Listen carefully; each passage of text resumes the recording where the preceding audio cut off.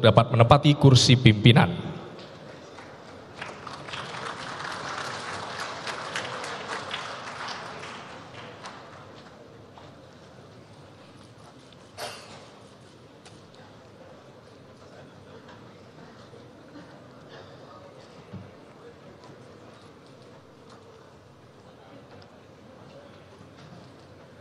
Kami silakan kepada Ketua Rapat Ibu Dr. Honoris Causa Puan Maharani untuk melanjutkan memimpin rapat paripurna DPR RI. Terima kasih.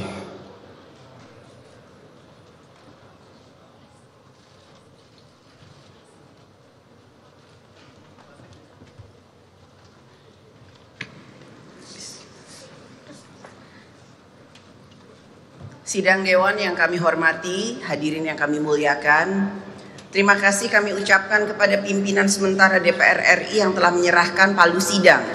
Selanjutnya, sidang kami lanjutkan. Pada kesempatan yang berbahagia ini, marilah kita memasuki acara terakhir, yaitu pidato awal Ketua DPR RI pada masa keanggotaan tahun 2024-2029 mengawali tugas kami sebagai pimpinan DPR RI masa keanggotaan 2024-2029. Izinkan kami untuk menyampaikan pidato dari podium.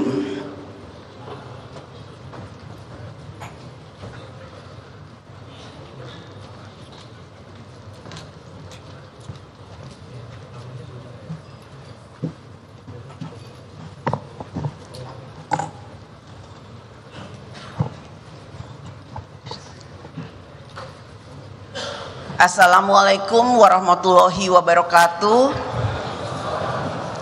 Salam sejahtera untuk kita semua. Om Swastiastu, Namo Buddhaya, salam kebajikan.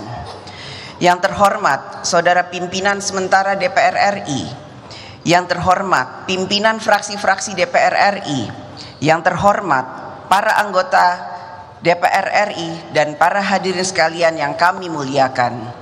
Puji dan syukur kehadirat Allah Subhanahu wa taala, Tuhan yang Maha Esa, yang telah merahmati kita semua sehingga kita dapat mengikuti rangkaian acara pelantikan anggota DPR RI pada hari ini. Atas nama seluruh anggota dan pimpinan DPR RI, kami mengucapkan terima kasih atas kepercayaan rakyat kepada kami untuk menjadi wakil-wakil rakyat periode tahun 2024-2029. Alhamdulillah prosesi pengucapan sumpah janji anggota DPR RI hasil pemilu tahun 2024 telah dilaksanakan secara lancar dan hikmat. Atas nama pimpinan DPR RI, kami mengucapkan selamat datang di DPR RI, selamat menjadi wakil rakyat. Marilah kita jalankan amanat rakyat dengan penuh tanggung jawab dan dedikasi untuk kesejahteraan rakyat. Berdasarkan pasal 427D Undang-Undang Nomor 2 Tahun 2018 tentang perubahan kedua atas Undang-Undang Nomor 17 Tahun 2014 tentang MPR, DPR, DPD dan DPRD, mekanisme pemilihan pimpinan DPR RI periode 2024-2029 dilaksanakan berdasarkan urutan perolehan kursi terbanyak di DPR RI. Ketua DPR RI adalah anggota DPR RI yang berasal dari partai politik yang memperoleh kursi terbanyak pertama. Selanjutnya, Wakil Ketua DPR RI adalah anggota DPR RI yang berasal dari partai politik yang memperoleh kursi terbanyak kedua, ketiga, keempat, dan kelima menindaklanjuti peraturan perundang-undangan tersebut, maka alhamdulillah telah terpilih pimpinan DPR RI, yaitu alhamdulillah saya sendiri Puan Maharani dari fraksi Partai Demokrasi Indonesia Perjuangan. Kemudian Saudara Adis Kadir dari fraksi Partai Golongan Karya. Selanjutnya, Saudara Sufmi, Sufmi Dasko Ahmad dari fraksi Partai Gerakan Indonesia Raya. Selanjutnya, Saudara Cucun Ahmad Syamsur Rizal dari fraksi Partai Kebangkitan Bangsa. Dan selanjutnya, Saudara Saan Mustafa, Mustafa dari fraksi Partai Nasional Demokrat. Kami secara kolektif kolegial dalam kurun waktu lima tahun ke depan sejak tanggal 1 Oktober 2024 hingga 30 September September 2029 akan mengkoordinasikan dan mensinergikan seluruh pelaksanaan agenda dan materi kegiatan dari alat kelengkapan DPR RI. Koordinasi dan sinergi tersebut akan diarahkan agar seluruh anggota DPR RI dan AKD DPR RI menjalankan fungsi legislasi, anggaran, pengawasan, dan diplomasi secara efektif. Kami, pimpinan DPR RI, secara kolektif kolegial akan memimpin dengan mengutamakan kerja bersama, gotong royong, membangun komunikasi lintas fraksi, lintas komisi dan badan AKD DPR RI untuk mencapai kebersamaan. Kebersamaan bukan berarti semua serba sama, akan tetapi titik temu yang sama bagi mewujudkan kepentingan bangsa dan negara. Anggota DPR RI berasal dari berbagai latar belakang yang berbeda-beda, partai yang berbeda, daerah yang berbeda, beragam profesi, beragam tingkat pendidikan, beragam budaya, juga beragam gaya bicara. Ada yang keras, ada yang lugas, ada yang berpantun, ada juga yang alon-alon asal kelakon. Anggota DPR RI juga ada yang sudah dua periode tiga periode, bahkan ada yang lebih lama menjadi wakil rakyat. Oleh karena itu, kita harus saling menghargai dan menghormati perbedaan-perbedaan tersebut. Sebagai anggota DPR RI, kita harus dapat mempersatukan perbedaan dalam semangat gotong royong yang berbineka tunggal ika, mendapatkan titik temu yang sama bagi kepentingan bangsa dan negara. Karena tugas kita selanjutnya sebagai anggota DPR RI adalah harus mempersatukan rakyat dalam kerja bersama membangun Indonesia. Sidang Dewan yang terhormat, setiap pemilu selesai dilaksanakan dan rakyat telah memilih wakil-wakilnya, maka selalu disertai dengan harapan rakyat bahwa ke depan kekuasaan yang diberikan rakyat kepada kita anggota DPR RI dapat digunakan untuk merubah kehidupan rakyat yang semakin sejahtera. Menjadi tugas dan tanggung jawab kita, seluruh anggota DPR RI untuk dapat menjalankan amanat rakyat dengan sebaik-baiknya. Ke depan, bangsa dan negara kita menghadapi berbagai tantangan dalam membangun Indonesia. Kita memiliki sejumlah permasalahan struktural yang harus diselesaikan antara lain masalah struktural kualitas sumber daya manusia, kedaulatan pangan, energi, industri nasional, UMKM, ketimpangan nasional, kemiskinan dan lain sebagainya. Kita juga menghadapi ketidakpastian gejolak ekonomi global dan geopolitik global. Kita juga menghadapi perekonomian nasional yang masih dalam pemulihan DPR RI melalui fungsi-fungsi konstitusionalnya harus melakukan intervensi ya, yaitu dengan kebijakan negara dalam politik hukum, politik anggaran, dan politik pembangunan untuk merespon berbagai tantangan di dalam membangun Indonesia. AKD DPR RI, komisi, dan badan memiliki tugas tertentu dalam fungsi legislasi, anggaran, pengawasan dan diplomasi. Agenda kita ke depan secara umum adalah sebagai berikut. Agenda legislasi DPR RI bersama pemerintah adalah membentuk undang-undang yang dapat mengatur kehidupan rakyat dalam bidang politik, ekonomi, sosial, budaya, religi dan lain sebagainya. Kita dan pemerintah akan menyusun program legislasi nasional yaitu Undang-Undang Prioritas lima tahun ke depan. Kita dan pemerintah dalam membentuk undang-undang diharapkan selalu mengutamakan kepentingan bangsa dan pemerintah, mengatur kemudahan-kemudahan dalam urusan rakyat.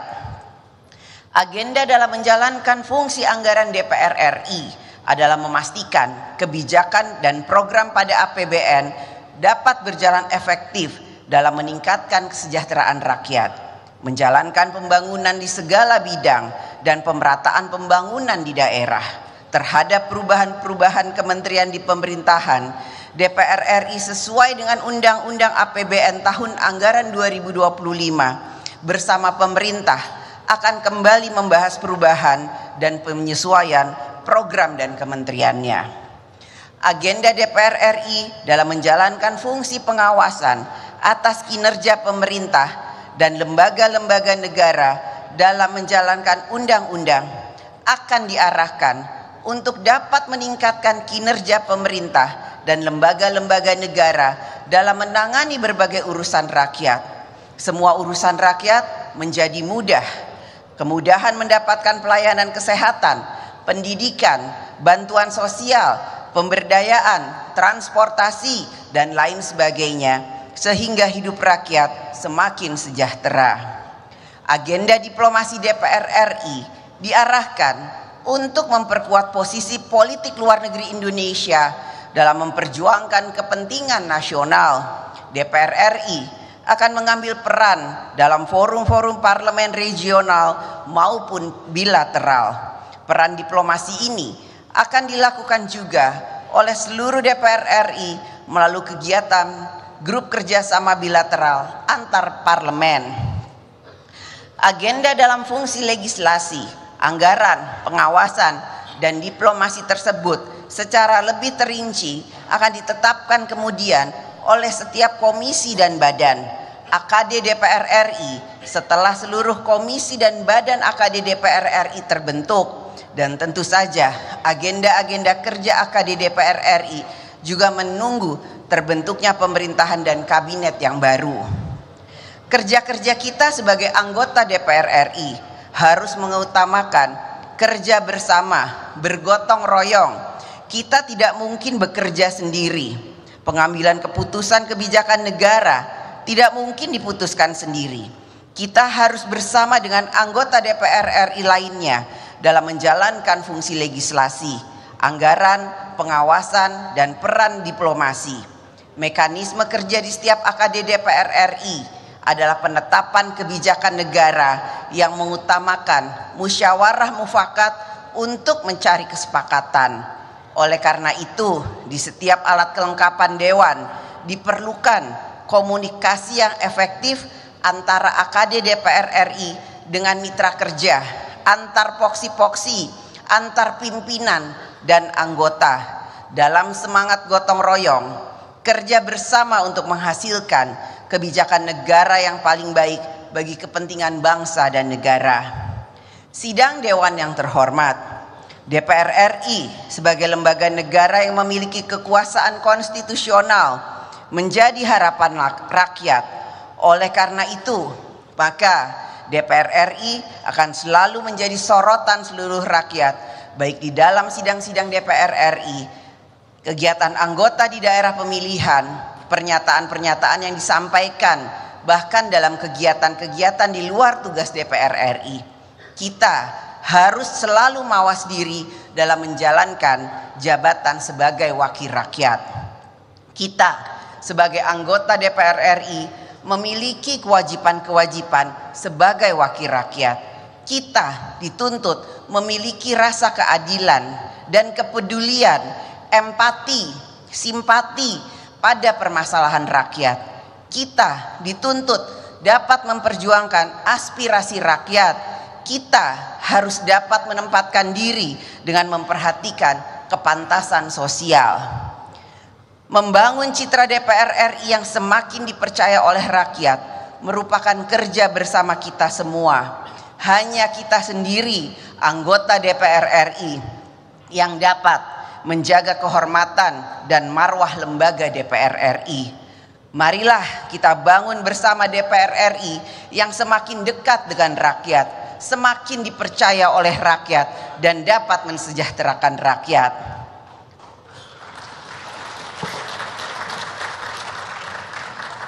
Pada kesempatan ini, atas nama seluruh anggota DPR RI, kami juga mengundang partisipasi dari seluruh komponen masyarakat, media massa, pers, kaum intelektual, akademisi, mahasiswa, LSM, ormas dan lain sebagainya untuk ikut memberikan masukan, pandangan dan kritik terhadap berbagai kebijakan negara yang akan diambil. Berikanlah pandangan, saran, dan kritik yang ikut mencerdaskan kehidupan bangsa. Pada masa kepemimpinan kami, insya Allah akan kami gelorakan semangat kerja bersama dalam mewujudkan DPR RI sebagai parlemen yang modern, terbuka, dan aspiratif, serta berupaya menjadikan DPR RI sebagai rumah rakyat yang sesungguhnya. Ketika kita anggota DPR RI pertama kali masuk ke gedung ini, gedung yang penuh dengan sejarah perjalanan bangsa dan negara, kita merasa bangga. Kita juga merasakan getaran panggilan sejarah kepada kita untuk berbuat sesuatu yang bermanfaat bagi rakyat. Marilah kita gunakan panggilan sejarah ini agar kita menjadi anggota DPR RI yang dapat memberikan manfaat pengabdian kepada tanah air bangsa dan negara. Selamat bekerja, selamat bekerja menjalankan kedaulatan rakyat. Semoga Allah Subhanahu wa taala Tuhan yang Maha Esa selalu memberikan rahmat dan bimbingannya bagi kita semua. Wassalamualaikum warahmatullahi wabarakatuh. Om Santi, Santi, Santi Om, Namo Buddhaya. Merdeka!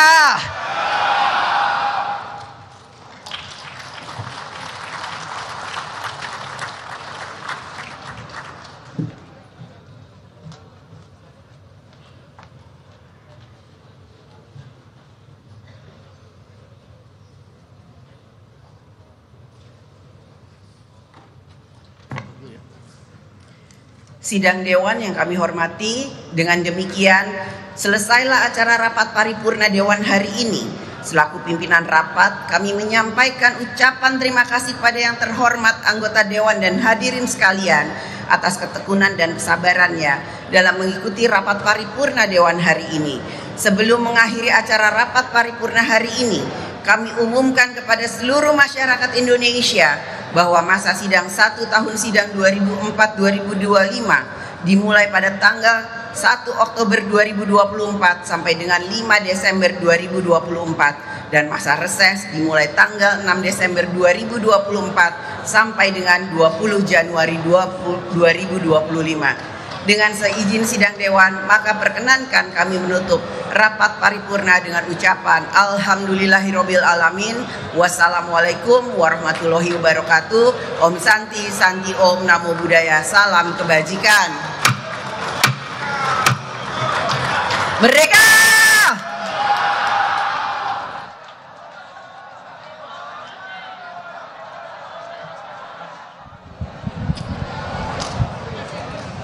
Ya pemirsa baru saja kita saksikan pelantikan untuk pimpinan dari DPR RI periode 2020. Rapat paripurna di DPR RI sudah selesai dengan agenda tadi penetapan sekaligus pengambilan sumpah ketua dan wakil ketua DPR RI.